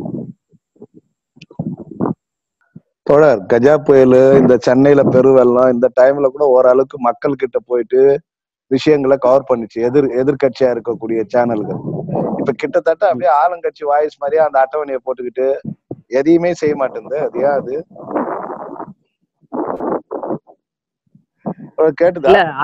எல்லாத்துக்கும் ஒரு லிமிட் இருக்கு தோழர். நீங்க கஜா புயல்லையும் கூட நீங்க ஒரு லிமிட்டோட தான் பார்க்க முடியும். அந்த இடத்துல போயிட்டு நீங்க வந்து அப்படியே அப்பட்டமா ஒரு விஷயத்த நம்மளால அங்க சொல்ல முடியாது. ஏன்னா நானே பர்சனலா எக்ஸ்பீரியன்ஸ் எனக்கு இருக்கு. கஜா புயல் கவரேஜுக்காக நான் இங்க இருந்து நான் போனது ஆஹ் அங்க டைரக்டா மக்களை சந்திச்சது. அதுலயும் கூட எனக்கா ஒரு ஊடகவியலானா நான் வந்து இப்போ என்னால உணர முடியும். இந்த செய்தியை வந்து இவங்க போடுவாங்க இந்த செய்தியை போட மாட்டாங்க அப்படின்றத நம்மளால உணர முடியும். அப்படிதான். எல்லாமே ஒரு எல்லாத்துக்கும் ஒரு ஒரு ஒரு ரெஸ்ட்ரிக்ஷன் இருக்கு. அதை தாண்டி யாருமே போக மாட்டாங்க. கஜா புயலா இவ்வளவு தூரம் வரைக்கும் கவர் பண்ணலாம். அதுக்கு மேல போக முடியாது. அதே மாதிரிதான் வேற ஒரு டிசாஸ்டரா பெருவெள்ளமா இவ்வளவு தூரம் போகலாம். பெருவெள்ளம் டைம்ல எல்லாம் வெள்ளத்தால பாதிக்கப்பட்ட நபர்களை தான் காமிச்சாங்களே தவிர இந்த நீங்க செம்பரபாக்கம் ஏரியை திறந்து விடுறதுக்கு ஏற்பட்ட தாமதம் அதுல யாருடைய நலன் அதெல்லாம் யாருமே பெருசா பேசலையே. எந்த ஊடகம் பேசுச்சு அத? பாதிக்கப்பட்ட விஷயங்களை பேசுனாங்க. அரசு பொறுத்த வரைக்கும் மாமா பாதிப்பு தான். ஏன் பாதிப்பு? இது வந்து இயற்கையான ஏற்பட்ட ஒரு பாதிப்பு. அதுல மக்களோட பாதிக்கப்பட்டிருக்காங்க. இதெல்லாம் மறைக்க முடியாதுல்ல? அதை காமிக்கிறதுல அரசுக்கு ஒன்றும் பிரச்சனை இல்லையே. நான் அரசு செஞ்சு ஒரு விஷயம் இப்படி தப்பா நடக்கலையே. கஜா புயல் புயல் அடிச்சது எல்லாமே விழுந்துருச்சு. அந்த விஷயம் கூட. அது அச்சு ஊடகத்துல வந்து இது கொண்டு வரக்கூடிய உண்மைகளை கூட காட்சி ஊடகத்துல கொண்டு வரதுக்கான வாய்ப்பு இல்லைல்ல? ஆமாமா நீங்க ரொம்ப சரியா சொன்னீங்க. அச்சு ஊடகத்துக்கு இருக்கக்கூடிய அந்த வெளி காட்சி ஊடகத்தோட ஒப்பிடும்போது அந்த வெளி அஹ், ரொம்ப கம்மி தான் காட்சி ஊடகத்துக்கு அச்சு ஊடகத்தோட ஒப்பிடும் பொழுது. ஏன்னா அதான் நான் சொன்ன மாதிரி உடனடியாக எதிர்வினை அப்படின்றது நடக்காது காட்சி ஊடக அச்சு ஊடகத்துக்கு. இங்க உடனடியாக எதிர்வினை நடக்கும். அடுத்த செகண்டே வந்து கேபிள்ல கட் ஆகும். நீங்க ஏற்கனவே சொன்னீங்க ஊடகங்கள் வந்து தலித் விஷயங்களை கூட எப்படி இப்ப சொல்லணும்? அப்படின்ற ஒரு கட்டுப்பாடு இருக்குதுன்னு சொன்னீங்க. அப்ப தலித்துகளுக்கு வாய்ப்பு இருக்குதா? இல்ல தலித்துகள் அங்க அதிகமா சேர்க்கப்படுறாங்களான்ற கேள்வி இருக்கு. இல்ல தோழர் இது வந்து ஒரு ஸ்டாட் ஸ்டாட்டிஸ்டிக்ஸான ஒரு பதில சொல்லணும் நானு. ஆனா இருக்கிறாங்களா கேட்டிங்கன்னா இருக்காங்க. பொறுப்புகள்ல இருக்காங்க. ஆனா ஒரு சில ஊடகங்கள்ல உயர் பொறுப்புல இருக்கக்கூடிய நபர்களுக்கான அந்த அந்த சாதி சார்பு இருக்கும்ல. அந்த சாதி சார்பின் அடிப்படையில அவங்க மட்டுப்படுத்தப்படக்கூடிய நிகழ்வுகள் நடந்திருக்கு. நானே பார்த்திருக்கேன் நேர்லயே. அந்த மாதிரியான விஷயங்கள்லாம் அவங்க செய்வாங்க. அதே மாதிரி மதம் சார்ந்து ஒரு சிறுபான்மையா இருக்கக்கூடிய ஒரு நபரை வந்து அவங்க அணுகிற விதம்லாம் இருக்கும். அது வந்து உயர் பொறுப்புல இருக்கக்கூடிய நபர்களினுடைய அந்த இதன் அடிப்படையில அவங்க எதை சார்ந்திருக்காங்கன்ற அடிப்படையில அதான் நான் திருப்பி சொல்றேனே இது சமூகத்தினுடைய ஒரு பகுதி தான் சமூகத்துல என்னென்னலாம் நடக்குதோ என்னென்ன ஏற்றத்தாழ்வுகள்லாம் இருக்கோ அது எல்லாமுமே இதற்குள்ளேயும் நம்மளால் பார்க்க முடியும். இது இருக்குது. இது வந்து இது எதுலயும் விதிவிலக்கான ஒரு துறை கிடையாது. அப்படியே அதை ஒட்டிய ஒரு கேள்வி. இப்ப நீங்க ஊடகத்துல இருக்கீங்க உங்களை நான் அதிகமா பாக்குறோம் நம்ம. மார்க்சிய சிந்தனையோட ஒரு தெளிவா ஒரு அளவுக்கு நீங்க உங்களுடைய நிகழ்ச்சியை நான் பாக்குறேன் உங்களுடைய நெருக்க உங்க ஊடகத்துல நீங்க உங்க இருந்த நீங்க எப்படி பாக்குறீங்க? உங்களோட நெருக்கடி இதெல்லாம் அதான் தோழர் இந்த வெளியே புரிஞ்சுக்கிட்டோம்னா போதும் தோழர். இப்போ இப்போ நான் சார்ந்த ஊடகத்துல இந்த குறிப்பிட்ட செய்திய நான் வந்து பெரிதுபடுத்தினேன் அப்படின்னா நான் இங்க நீடிக்க முடியாது. ஆனால் அதை தாண்டி மற்றொரு செய்திய மற்றொரு பிரச்சனைய என்னால இங்க பெரிதா பேச முடியும். அப்படின்னு எனக்கு புரிதல் வந்துச்சுன்னா நான் அந்த பிரச்சனைகளுக்குள்ள ஊடுருவி அதுல வேலை செய்ய ஆரம்பிச்சிருவேன். ஏன்னா இந்த ஊடகத்துல இந்த பர்டிகுலர் பிரச்சனையை என்னால தொட முடியாது. ஆனா இந்த பிரச்சனையை நான் விரிவா கூட பேசலாம் அப்படின்ற வாய்ப்பு இருக்கும். அப்போ அப்படி எந் எந்த வாய்ப்பு இருக்கோ அதை பயன்படுத்திக்கிட்டு அதை நம்ம அஹ், சிறப்பா செஞ்சு எடுத்துட்டு போகணும். அவ்வளவுதான். ஸோ அந்த வாய்ப்புகளை அந்த அதை புரிஞ்சுக்கணும். அந்த புரிதல் இருந்துச்சுன்னா நம்ம இங்க நீடிக்கலாம். அஹ், நம்மளால முடிஞ்சதை செய்யலாம். சில பேருக்கு சிலர்லாம் வந்து கொஞ்சம் உணங்கா முடியா இருப்பாங்க நான் வந்து இந்த சமூகத்தினுடைய அடிப்படையை புரிஞ்சுக்காம இந்த நெளிவு சுழிவு இல்லாம கொஞ்சம் டாக்டிக்கலா அணுகணும் இந்த பிரச்சனைகளை அப்படின்ற புரிதல் இல்லாம நபர்கள் இருப்பாங்க. அவங்களால ஊடகத்துல நீடிக்கிறது உண்மையிலே ரொம்ப கஷ்டம். பட் இந்த நெளிவு சுழிவுகளை புரிஞ்சுக்கிட்டு இது ஒட்டுமொத்தமாக சமூகத்தினுடைய ஒரு பகுதி அப்படின்றத புரிஞ்சுக்கிட்டு இதுல என்ன செய்ய முடியுமோ அதை செஞ்சு செஞ்சு செய்யறது சரியாக இருக்கும் அப்படின்றத தெரிஞ்சுக்கிட்டா நம்மளால இங்க நீடிக்க முடியும். ஆஹ் அவ்வளவுதான். ரொம்ப சிம்பிள்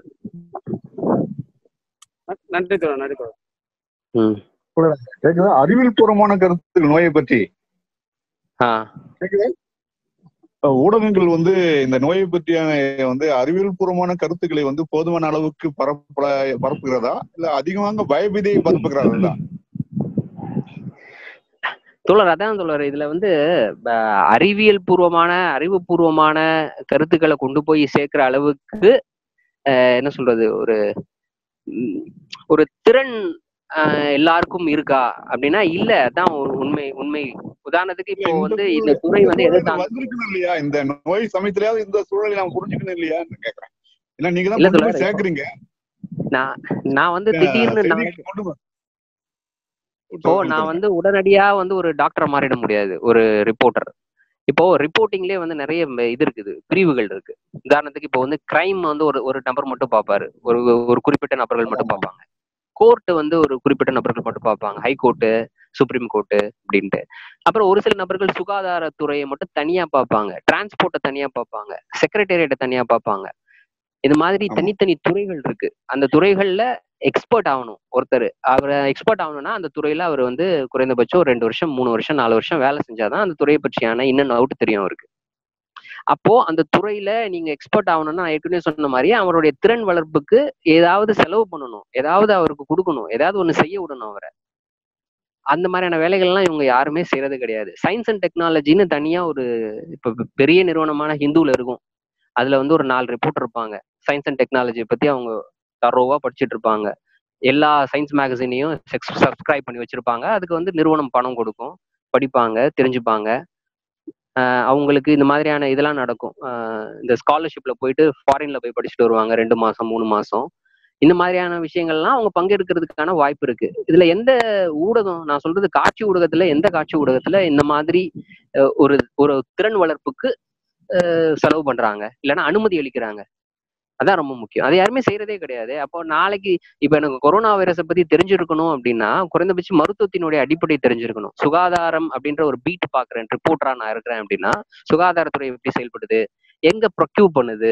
குறைந்தபட்சம் கொரோனாவை டெக்னிக்கலா நான் சொல்லாட்டினாலும் கூட ப்ரொக்யூர்மெண்ட் எப்படி நடக்குது? இந்த மாதிரியான விஷயங்களை நான் தெரிஞ்சு வச்சிருப்பேன். அப்படின்னா நான் இதுல இருக்கக்கூடிய குறைய சுட்டி காமிக்க முடியும். சயின்டிபிக்கா கூட நான் எக்ஸ்பிளைன் பண்ண முடியும் அப்படின்னு. பட் நான் இந்த துறையினுடைய அறிவை எனக்கு கொடுக்கறதே கிடையாது. இல்லைன்னா நான் வளர்த்துக்கிறேன்னா அதுக்கு கூட இந்த நிறுவனம் உரு உதவுறது கிடையாது இல்ல நிறுவனங்கள். அப்படிப்பட்ட சூழ்நிலையில நான் எப்படி நான் சயின்டிபிக்கா என்னால கொடுக்க முடியும்? ஒரு ஐம்பது நாள் நாற்பது நாள் ஆயிடுச்சு. நாற்பது நாளுக்குள்ள குற- குறைந்தபட்சம் வந்து பொது சுகாதாரத்தை பத்தியான ஒரு புரிதல் வந்து கட்டாயம் வந்திருக்கணும் இல்லையா? எல்லா குறைந்தபட்சம் ஊடகவியலாளர்களுக்கும் வந்திருக்கணும் முதலாளிக்கு கூட வந்திருக்கணும் இல்லையா? அது வந்திருக்கா? போதுமான அளவுக்கு அந்த விழிப்புணர்வு வந்திருக்கா? இல்லையா? என்று கூட சந்தேகமா இருக்கு பிரதானத்துல. நாற்பது நாளைக்கு என்ன தெரிய முடியுமோ அந்த நாற்பது நாள்ல இந்த கொரோனா வைரஸை படிச்சு அதை பத்தியான புரிதலோட என்ன கொடுக்க முடியுமோ அதை தான் கொடுத்துட்டு இருக்காங்க தோழர். நாற்பது நாள்ன்றது எப்படி ஒரு போதுமானதா இருக்கும்னு நினைக்கிறீங்க? சயின்டிபிக்கா ஒரு விஷயத்தை எக்ஸ்பிளைன் பண்றதுக்கு. வேணா ஒரு நாலு டாக்டர் கூப்பிட்டு பேச வைப்பாங்க. வாழ்- வாழ்க்கையின் ஒரு பகுதி தானே எல்லாருடைய வாழ்க்கையின் ஒரு பகுதி தானே சுகாதார கட்டமைப்புன்றது அது நமக்கு அடிப்படையா புரிஞ்சுக்கிட்டு செய்தாவே போதும் இல்லையா அந்த அந்த அடிப்படையை புரிதலோடு செயல்படுறதா இந்த கேள்வி இருக்கு எனக்கு. பல சமயத்துல அப்படி இல்ல இருக்க மாதிரி இருக்கு. ஏன் கேட்டா இப்ப இந்த ஊடகங்கள்ல திருப்பி திருப்பி நடிகர்கள்ல தான் நடிகர்கள் நடிகர்கள் வந்து காட்டுறதுன்றது மீண்டும் வந்து இது என்ன தெரியலன்னு எனக்கும் புரியல எனக்கு. இந்த சமயத்துல அவர்களால் என்ன செய்ய முடியும்? தெரியல எனக்கு. இல்ல தோழர் நான் தானே சொன்னேன் இது வியாபாரம் தான். ரொம்ப சிம்பிள் இதெல்லாம் சயின்டிபிக்கா உனக்கு கொரோனா வைரஸ்னா என்ன அது எப்படி பரவுது எதுக்குள்ள இருந்து வருது வவ்வால்ல இருந்து வந்துச்சா இரும்பு திணில இருந்து வந்துச்சா இப்படின்னு ஒரு விஷயத்த சொல்றதை தாண்டி இன்னைக்கு வந்து விஜய் வந்து மூணு ஒரு கோடியே முப்பது லட்ச ரூபா கொடுத்துருக்காரு. விஜய் பத்தி ஒரு பத்து நிமிஷம் போட்டா அதிகமா பார்ப்பாங்க. எது எனக்கு விற்கும் அதை தானே நான் காமிக்க முடியும்.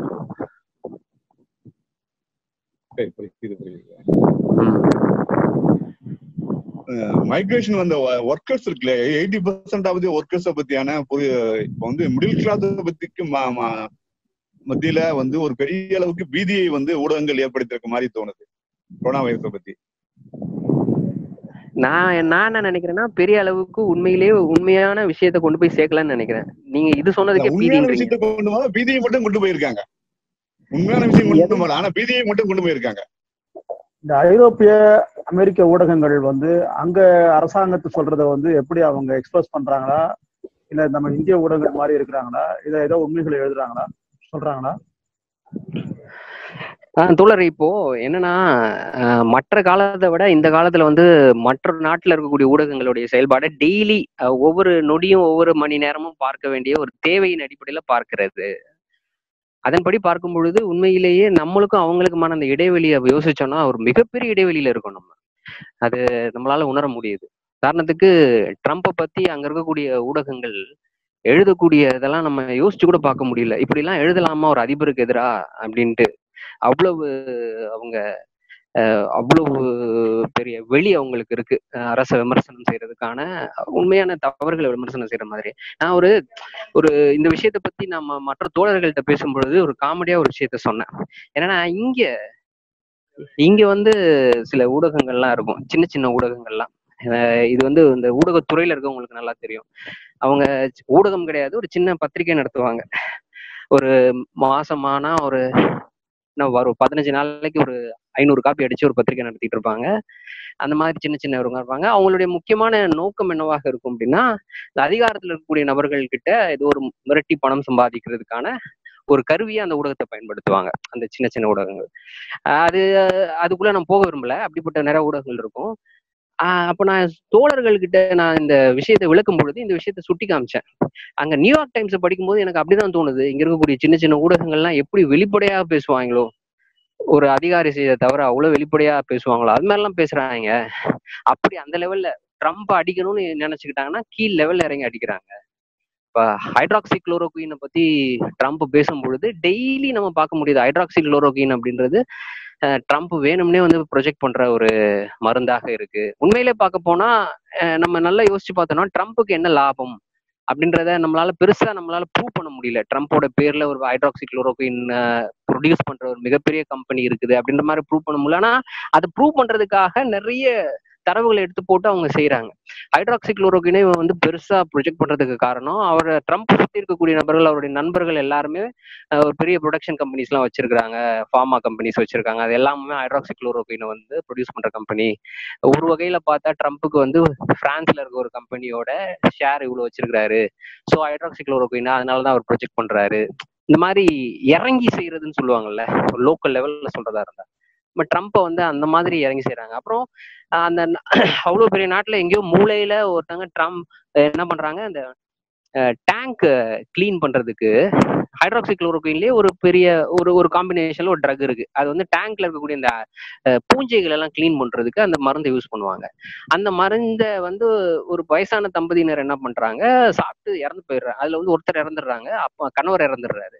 இதை போய் தேடி கண்டுபிடிச்சு அதை வந்து போட்டு ட்ரம்ப் வந்து ஹைட்ராக்சி குளோரோக்கியூனை யூஸ் பண்ண சொன்னதுனால தான் இவங்க இறந்து போயிட்டாங்க. ட்ரம்ப் வந்து ஒரு பொலிட்டீஷியனா செயல்படணும். தேவையில்லாம ஒரு மருத்துவர் மாதிரிலாம் பேசக்கூடாது. அப்படின்னு இறங்கி பல வேலைகளை செய்யறதை நம்மளால பார்க்க முடியுது. அதே மாதிரிதான் இதுவும் இன்னைக்கு. நான் சொன்னல இந்த மெயில் யூகேல பிரிட்டன்ல இருந்து வரக்கூடிய அந்த செய்தி நிறுவனம். அவங்க வெளியிட்ட இதுதான் இது. இந்த ரேபிட் டெஸ்ட் கிட் பத்தி. ரேபிட் டெஸ்ட் கிட் வந்து இன்னும் வரைக்கும் அது வந்து ரொம்ப ஹைப்பை உருவாக்கி கவர்மெண்ட்டே தேவையில்லாம ஒரு ஹைப்பை உருவாக்கி அஹ், இந்த ரேபிட் டெஸ்ட் கிட்ட வந்து இவங்க வந்து இம்போர்ட் பண்ணியிருக்காங்க இதனால ஒன்றும் சல்லி காசுக்கு லாபம் இல்லை. இதை வச்சு ஒன்றும் பண்ண போறது கிடையாது. அப்படின்றத அவங்க தான் வெளிப்படுத்தியிருக்கிறாங்க அவ்வளோ பெரிய இது. அந்த நிறுவனம் அதாவது அந்த செய்தி ஊடகத்துக்கு தான் வந்து பதிலளிக்கக்கூடிய வகையில் அந்த நிறுவனம் வந்து ஒரு ப்ரெஸ் ரிலீஸே ஒரு விட்டுருக்கு. ஸோ யோசிச்சு பாருங்க. அவங்களுக்கும் நமக்குமான அந்த தூரம் இடைவெளிய இங்க நம்மளால ஒரு லைவ் நம்மளால எடுக்காம இருக்க கூட முடியாது. எடுத்தே ஆகணும். ஆனா அங்க அஹ், எவ்வளவு எவ்வளவு லெவல்ல கூட அவங்களால இறங்கி ஒரு தவறை சுட்டி காட்டுறதுக்கு அவங்களால எவ்வளவு லெவல்ல வேணா இறங்கி அவங்களால பேச முடியுது. அவ்வளவு பெரிய சுதந்திரம் அங்க இருக்கிறத நம்மளால பார்க்க முடியுது. ஆனா அங்கேயும் வந்து ஊடகத்துக்கு எதிரான ஒடுக்குமுறைகள் தொடர்ந்து நடந்துகிட்டு இருக்கு நம்மளால அதையும் பார்க்க முடியுது. தொடர்ந்து அங்க வெளிப்படையாவே ட்ரம்ப் வந்து சிஎன்எனோட ரிப்போர்ட்டரை ஒவ்வொரு ப்ரெஸ் மீட்லயும் இது மாதிரி அசிங்கப்படுத்துறது அது மாதிரியான விஷயங்களை அவங்க தொடர்ந்து செஞ்சுக்கிட்டு இருக்காங்க ஆனா அதை தாண்டி அவங்களுக்கு அங்க அந்த சப்போர்ட் இருக்கு.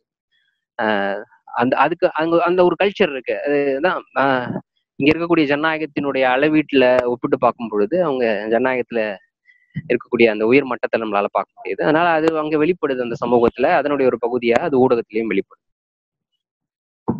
ஆஹ் இன்றைக்கு வந்து பயோஸ்பியர் அதாவது புவி புவி நாள் இன்னைக்கு அச்ச போதுமான அளவுக்கு இன்றைக்கு ஊடகங்கள் இது பத்தியான இன்றைக்கு சூழலை இதை கவர்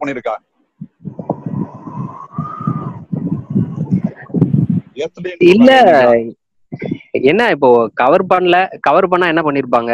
உண்மையிலேயே இந்த புவி வெப்பமாயமாதலுக்கான காரணம் என்ன அப்படின்றத விளக்கி இருப்பாங்களா என்ன மீட்டேஷன் சுற்றுப்புற சூழலுக்கும் இதுக்கும் உள்ள தொடர்பு இருக்கு இல்லையா? இதை பத்தி கூட இந்த சமயத்துல கூட ஊடகங்கள் பேசலாம். வேற எப்ப பேசுறதுன்னு தான் எனக்கு புரியல. பேசுறதுக்கான வாய்ப்பே கூட கிடையாது இல்லையா? ஆமா தோழர் அதுதான் தோழர். இதெல்லாம் செய்யணும். அதை ஒட்டி இந்த விஷயங்கள் எல்லாம் செய்யணும். ஆனா நான் தான் ஊடகங்களுடைய அந்த நிலைமையை நான் உங்களுக்கு விளக்கிட்டேனே. அவங்க. அவங்க பண்ணிருக்காங்களான்னு கேக்குறேன் எனக்கு. தெரியல எனக்கு. அதனால கேக்குறேன் இல்ல இல்ல. இன்னைக்கு எனக்கு தெரிஞ்ச எங்களுடைய நான் பணியாற்றக்கூடிய ஊடகத்துல கூட அதை பத்தி எதுவும் போனதா தெரியல. கொரோனா பயங்கர பீக்ல இருக்கு. இந்த டைம்ல போய் புவி இல்ல அதுக்குள்ள தொடர்பு இருக்கு இல்லையா இன்னைக்கு. இன்னைக்கு நிறைய சயின்ஸ் சயின்ஸ் அந்த சயின்டிஸ்ட் வந்து அதுக்கு உள்ள தொடர்புகளை பத்தி பேசிருக்காங்க நிறைய சொல்றதை நான் மறுக்கல. அப்படிப்பட்ட உண்மையிலே தொடர்பு இருக்கு. ஒண்ணுக்கு ஒண்ணு தொடர்பாக தான் இங்க இருக்குது. இப்படிப்பட்ட கொரோனாவுக்கும் இந்த புவி வெப்பமயமாதலுக்கும் இருக்கக்கூடிய தொடர்பை அறிவியல் பூர்வமாக விளக்கி ஒரு மிகப்பெரிய கட்டுரையையோ இல்ல ஒரு அழகான செய்தி தொகுப்பையோ உருவாக்கக்கூடிய அளவுக்கு இல்ல. நிலைமை இல்ல. அதான் உண்மை. இல்லாட்டினா என்ன போடுவாங்க? புவி வெப்பமய இதே வந்து கொரோனா இன்னைக்கு இல்லாட்டி இவ்வளவு பெரிய கொரோனா பாதிப்பு இல்லாட்டினா இந்த புவி வெப்பமயமாதலுக்கு ஒரு ரெண்டு நிமிஷத்துக்கு ஒரு செய்தி தொகுப்பு போயிருக்கும். அந்த செய்தி தொகுப்புல பொத்தாம் பொதுவாக நாம் பொதுவாக சொல்லுவோம்ல உலகம் வெப்பமாயிட்டு வருது தொழிற்சாலைகள் வெளியிடக்கூடிய ஆஹ், இந்த நச்சு புகை இப்படின்ற மாதிரி பொத்தம் பொதுவாக பேசி விட்டுட்டு ஒரு ரெண்டு நிமிஷம் ஓடும். இந்த இணைவை பத்தி பேசணும்லாம் நமக்கு கஷ்டம் இல்லையா? நமக்கு நமக்கு இந்த இணைவு இருக்கு இல்லையா? இந்த கொரோனா வைரஸுக்கும் இந்த சுற்றுப்புற சூழலுக்கும் உள்ள இணைவை பற்றியான பேசுவது இந்த இந்த நாள்ல பேசுறது வந்து அவசியம் இல்லையா? துல நான் அவசியம் இல்லைன்னு சொல்லவே இல்லை. அவசியம்தான் ஆனால் நிலைமை அப்படி இல்லைன்ற. இங்க யாரும் அப்படி யோசித்து இதை செய்யக்கூடிய அளவுக்கு ஆன முதல்ல திறன் படைத்தவங்க இல்ல அந்த எண்ணம் இல்ல ரெண்டாவது. அப்புறம் நிறைய திறன்படுத்தி இருக்கதான் செய்யறாங்க இன்னைக்கு. ஊடகத்துல அதுக்கான ஆட்கள் இருக்கா நான் எல்லா வீடியோவும் பார்த்துட்டு தான் இருக்கேன். அதுக்கான ஆட்கள் இருக்காங்க ஆனா பேச மாட்டாங்க மாதிரி தோணுது எனக்கு நம்ம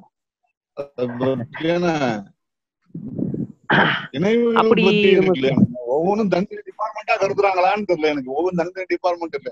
இப்ப மருத்துவம் சுற்றுப்புற சூழல் இல்லாட்டி நோய் இது அப்புறம் வந்து சாதாரண மக்களுடைய விஷயங்கள் எல்லாத்தையும் தனித்தனி டிபார்ட்மெண்ட் ஆக்கிட்டு பேசுறாங்களோ அப்படின்னு தோணுது. ஊட இப்ப ஊடகவியலாளர்களுடைய பிரச்சனைகள் கூட இன்னைக்கு இருக்கிற மருத்துவ பிரச்சனைகள் இருக்கு இல்லையா? அவங்களுடைய சுகாதார சூழல் கூட வந்து எல்லாம் தனித்தனியா தான் பாத்துறாங்க எல்லாத்துல இணைவுகளை பத்தி பேசுறதே இல்லை அப்படின்னு தோணுது. இணைவுகள்லாம் நீங்க சொல்றது இதுக்கான பொதுவான காரணம் அப்படின்ற ஒரு விஷயத்தை நோக்கி அப்படின்றீங்களா? ஒவ்வொன்றுக்கும் உள்ள தொடர்புகள் இருக்கு இல்லையா? இணைப்பு இருக்கு இல்லையா? இணைப்பு வந்து காரணிகள் இருக்கு இல்லையா? இணைப்புக்கான அந்த இணைப்புக்கான காரணிகளை பத்தியான இப்போ வந்து பேசுறது கொரோனா வைரஸுக்கும் வந்து இன்னைக்கு ஏன்னா அதை பத்தியான பேசுவதற்கான வாய்ப்புகள் நிறைய இருக்குன்னு தான் தோணுது. ஆஹ் சொல்றேன். நீங்க சொல்றது அதான். சரி. நான் இல்ல இல்ல இப்படிப்பட்ட ஒரு சிந்தனையோடு யோசிச்சு வந்து அதை பத்தியான ஒரு ப்ரோக்ராம் பண்ணணும் அதை பத்தி ஒரு கட்டுரை எழுதணும் அப்படின்னு எழுதினாலும் கூட அதை அனுமதிக்கணும் முதல் விஷயம். முதல்ல என்னைக்கு அது எழுதணுன்ற ஒரு எண்ணம் வரணும். அது ஒன்றும் அங்கொன்னும் இங்கொன்னுமா நடக்கும் சொல்றது அது இல்லலாம் இல்ல. அங்கொன்னும் இங்கொன்னுமா இருக்கலாம் ஆனா இதற்கு அதிக முக்கியத்துவம். நான் தான் ரொம்ப சிம்பிளா பொதுவா சொல்றதா இருந்தா அதான். இப்போ விஜய் வந்து இன்னைக்கு ஒரு கோடி ரூபாய் முப்பது லட்ச ரூபா கொடுத்துருக்காரு விஜய் பற்றியான இன்னைக்கு என்னென்னலாம் செய்ய முடியுமோ எந்தெந்த வகையில விஜயோடைய படத்தை காமிக்க முடியும் விஜயை பத்தி பேச முடியும் அதையெல்லாம் நம்ம அதிகமாக செய்யும் பொழுது அதிக நபர்களை ஈர்க்க முடியும். அதிக நபர்கள் பார்ப்பாங்க. அப்படின்ற எண்ணம் அதிகமா இருக்கும். அவ்வளவுதான். ஆனாதான். தற்சயமா நம்ம தோழர்கள் ஊடகத்துல வலுவா இருக்கிறாங்களா? அப்படி ஏதாவது நீங்க நினைக்கிறீங்களா? முதலாளிகளை கேட்கல ஊடக ஊடகவியலாளர் கேட்கறேன் நம்ம நம்மள மாதிரி ஆட்கள் வந்து அதிகமா ஒரு கட்டமைப்பு உருவாக்கி நீங்க உருவாக்கிட்டு இருக்கிறீங்க அது வலுவா இருக்குதான்னு கேட்குறேன் இருக்காங்க தோழர். கன்சிடரபிளா இருக்கிறாங்க. அதான் நல்ல விஷயம். கொஞ்சம் இடதுசாரி சிந்தனையோடு நிறைய பேர் இருக்கிறாங்க ஊடகத்துல. அது ஒரு பாசிட்டிவான அம்சம். இவற்றையெல்லாம் தாண்டி கொஞ்சம் கொஞ்சம் ஏதாவது நல்ல விஷயங்கள் வந்து சேருதுன்னா அவங்களாலதான் முடியுது. அதுக்கு காரணம் இந்த கொஞ்சம் தெ- இந்த மாதிரி இடதுசாரி சிந்தனையோடு இருக்கக்கூடிய நபர்களால தான் சாத்தியப்படுது. அதனால இருக்காங்க. அது ஒரு நம்பிக்கை அளிக்கக்கூடிய விஷயம் தோழர் நன்றி தோழர் நன்றி தோழர் சிறப்பு மற்றபடி எல்லாமே சிறப்பா பேசுனீங்க. அருமையா இருந்தது. நன்றி தோழர் சரி. தோழர் எல்லாருக்கும் நன்றி. ஆஹ் இப்படி ஒரு வாய்ப்பை ஏற்படுத்தி கொடுத்ததுக்கு மாற்றத்திற்கான ஊடகவியலாளர் மையத்தின் சார்பா உங்க தோழர்கள் எல்லாருக்கும் நன்றி.